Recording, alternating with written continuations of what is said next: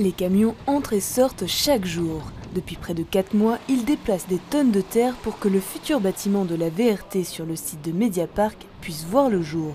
Mais en attendant, du côté des riverains, ce manège n'est plus supportable. Le bâtiment bouge. Au début, il y a 4 mois, on a eu peur. Tous les locataires, on, est sortis dehors.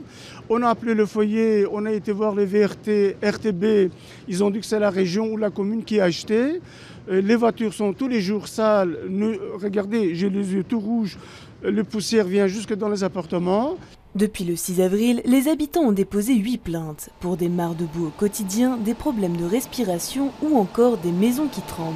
Ils souhaitent que des mesures soient prises. Ils devraient pouvoir nettoyer toute la, route et les camions quand ils sortent de manière euh, efficace parce que qu'est-ce qu'il en est de, tous les habitants? Certains se plaignent même déjà que les bâtiments bougent et de fissures et donc il faudrait qu'un gé- géomètre expert aussi vienne voir tout cela parce que euh, qu'est-ce qu'on va faire si le chantier, je dirais, impacte sur la, la structure des- des maisons aussi? Suite aux plaintes, la commune de Scarbeck a réagi en estimant que cette situation était inadmissible. Des constats ont été réalisés et continuent de se faire. Effectivement, il y a la possibilité d'amende, il y a aussi des mises en demeure. C'est très important qu'on fasse les choses dans les règles.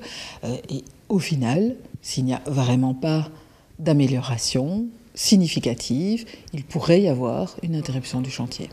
La commune, actuellement en contact avec l'entreprise générale du chantier, envisage de discuter avec la VRT, le client final, pour que la situation s'améliore du côté des riverains.